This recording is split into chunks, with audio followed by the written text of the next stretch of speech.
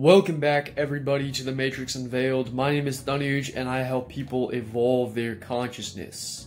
In this video, I'm going to be breaking down for you the truth about energy fields. What is an energy field? And how can you learn to control your own energy fields? See, there's a lot of misconceptions about energy fields. There's a lot of nonsense and just bad information on the internet about energy fields. And as someone who is an energy practitioner, as someone who has studied and dedicated their life to learning about the universal energy fields, I feel it's my responsibility to really share the truth about this topic. So, without further ado, let's get right into the topic. So, an energy field is the bioelectricity. Bioelectricity means the energy that comes off of a living organism. Okay? Bioelectricity is the energy that our nervous system uses to operate all of our organs, our hearts, our brain, our senses, our uh, skin, our muscles, our tissue, all of that stuff within our human body is powered by bioelectricity.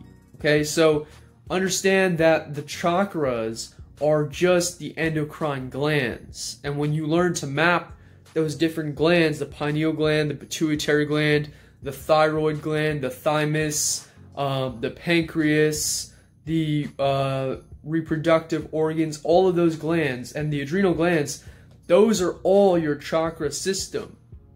This is all a technology that you've been given within your body that you need to learn how to activate with your energy.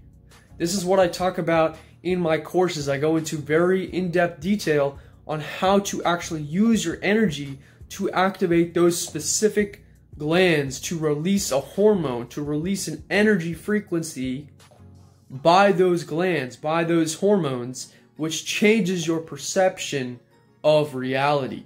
So that was a lot of information. I hope you guys didn't get lost when I was explaining that. But basically what I'm saying is that you can use your bioenergy fields, your bioelectrical field. A lot of people in the new age like to call it the aura or the Merkaba field. And the Merkaba field basically is this this spinning field, right? It's a field that spins. And what, what does it mean when it spins? It means that the energy is constantly circulating. The energy is constantly moving around and flowing. So you have a torus field, which is your Merkaba field, your Merkaba field, um, and it's around you. It goes past your body, and basically this energy field is all around you.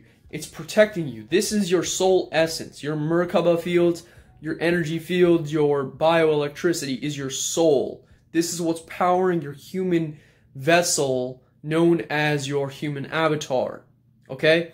Your human avatar is powered by your thymus, which is your heart chakra. Your heart, your thymus, this is a center gland. Just like if you watch the movie Iron Man, Iron Man has a gold, not a gold, um, a titanium alloy chest or a uh, whatever they call it. I don't remember the exact elements. Um, but his chest is basically a diamond. And of course, I'm wearing my diamond sweatshirt right now, which is representational of the heart chakra. The heart chakra is where all of the power of a being's energy comes from. Because love is that universal force that connects you into everything. So the more love you can exude, the stronger your energy field will become. So let's talk about energy fields. What do they do and what is their purpose? An energy field is, as I said before, the, the chi, the prana, the electromagnetism within the person's body. This energy field contains a person's emotions, their thoughts, their feelings, their intuitions, their past lives, uh, memories, experiences. All of these different things are contained within the person's energy field. This energy field is a soul uh, system, basically. It is a, a calibration of information. because it is light. Just like your physical body is made out of light, this energy field is light. It's simply in a spectrum of light that human beings normally do not access with their eyes. So, how can you actually learn to see these energy fields and work with these energy fields? Well, understand one thing first everything has an energy field. Plants have energy fields, trees have energy fields, inanimate objects such as this cup has an, ener- eh, has an energy field. It's just that living things tend to have much stronger energy fields because they are alive. They have active nervous systems. That's the key right there. The nervous system is the thing that allows us to feel, that allows us to process information and to basically use it as a network to travel signals back and forth. So remember that the trees have roots, they have branches. These branches and trees act as their nerves, and they're all connected. They have something called the root network or the worldwide uh, root or whatever you want to call it, the worldwide um, root system, which is basically like their version of the internet. They have all of their branches are connected to each other and they can pass information just like fungal networks. You should look up what how a fungal network works. Fungus also communicates in the same way through electrical signals, the same way that your brain communicates, which is through electrical synapses and charges and communication. So, understanding all of this basic biology and basic science, as I said, in many of my videos, I'm very science oriented and very uh, logical oriented, but I understand that the universe is very mystical and mysterious and, and you know, metaphysical. But when you understand what science actually is, it can explain a lot of this stuff, and it's important for us to learn the true scientific knowledge, the true mathematical knowledge of the universe. So, the energy field is a conscious living, breathing organism.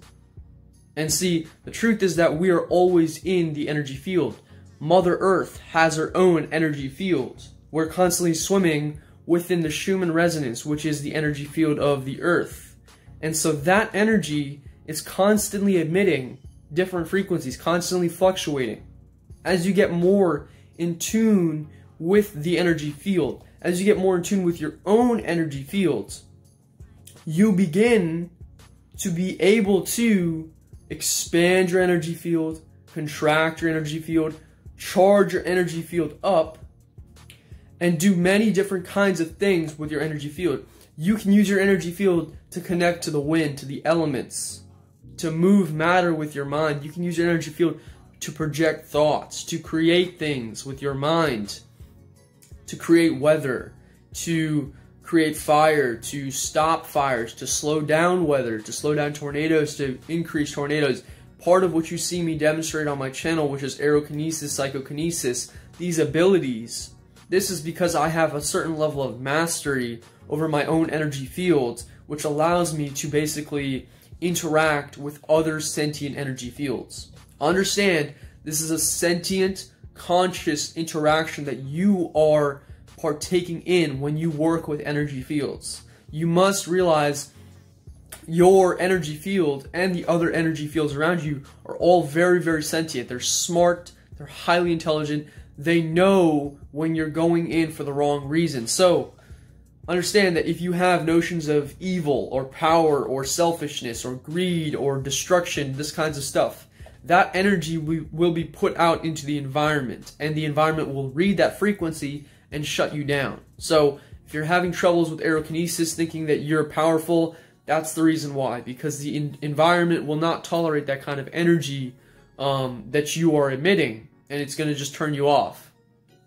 So how do you actually activate your Merkaba field? How do you actually activate your energy field? Well, I have a lot of courses on this information. I have the Charge Your Soul's Energy course, which teaches you how to activate your Merkaba field with certain breathing exercises, certain uh, basically energy exercises where you use your energy to flow with your energy and to tap into the energy fields around you as well. To allow a harmonious interaction between your energy and everything else. Okay? You can also learn psychokinesis, which is what I've been teaching people lately, which is the ability to move objects with your energy. This requires a surgical level of precision over your own energy field. Because if you don't have that surgical level of precision, you won't be able to actually move the object the way that you want to make it move. You will just have random motions. This is all about mastering your energy. And activating your Merkaba field has to do with your connection to the universe, your connection to how much you meditate, how much you train with energy, how much you know how to really tap into the frequencies and into nature, and how much you know how to let go of things that are no longer serving you, such as attachments to people, desires, lust, um, controlling habits, negativity, anger, fear, those kinds of things. They're all going to block your energy field. They're going to make you dense and they're going to make your energy less high vibrational, lower vibrational, which is going to cause you to not be able to flow with the energy fields around you as much. And so the key is to understand that your Merkaba field can be activated at will. It is a switch. It can be turned on and off at will when you get really good. I have gotten to the point where I can turn my energy field on and off at will. Sometimes when I'm emotional, it will turn on uh, kind of by accident because I'm releasing emotional energy and that just goes into the environment. So, you know, it's important to learn to control your emotions when you have a stronger energy field, but understand that it will take you a long time before you're out here really having to worry about how much your emotions affect other people because most people's energy fields are very, very weak. They haven't trained them, they haven't done any sort of work on their consciousness. Therefore, they're not really affecting their environment. They're not a conscious player, they're an NPC. If you want to become a conscious player in this reality, if you want to become an actual being in this reality, you must raise your frequency. You must activate your Merkaba field and learn to control your energy. When you do this, you will no longer fear 5G. You will no longer fear the vaccines. You will no longer fear the government. You will no longer fear anybody because you will realize how much strength, how much internal energy, how much power you have over your reality. Understand this concept and really take this take this to heart because you are limitless. The amount of energy that you can access is limitless. You can connect to the universe. You can become the infinite being that you are. And I am here to guide you to that destination. If you're interested in really learning about your energy field, activating your Merkaba field, reach out to me and apply for personal sessions for one-on-one coaching. In the description below will be a form where uh, you can apply. If you're interested in this, um, go ahead and do that. But understand that I am very serious here with this work and I do not give out high levels of information to beginners. You have to work your way up there. You have to really become humble and let go of your ego. So if you're demanding information from me, like some people try to do in the comment section, uh, understand I will block you because I don't have time for that kind of stuff.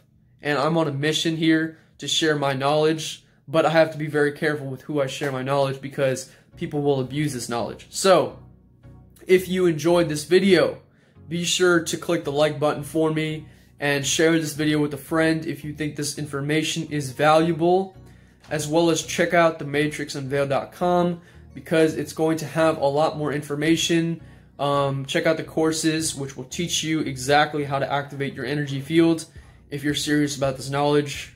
A lot of people aren't really serious about their consciousness and their evolution. They don't understand. What's the point? Why do it, why should I care about my consciousness? Well, understand your consciousness is all you have. That's all you are, your consciousness. You don't take anything with you when you die. You don't take your money, you don't take your family, you don't take your girlfriend, you don't take your house, you only have yourself. You only have your presence, your beingness, your energy. So you might as well master that within this earth realm. Because guess what? That's why you incarnated in the first place. You came here to learn how to master your energy. So you might as well learn how to do that. Because in the higher dimensions, when you think a thought, it instantly manifests. In the earth realm, we have a delayed reaction to prevent beginner level creators from causing destructive things. Because if everyone was manifesting instantly what they thought with their mind now, we would have tsunamis, we'd have hurricanes, we'd have the virus spreading like a wildfire, even more so than it is quote unquote spreading. All kinds of stuff like this. Understand that your energy is the most important thing that you have. You must master your energy fields. I'm here to guide you. Much love, guys. Check out the website. I will see you guys in the next video. Peace and love.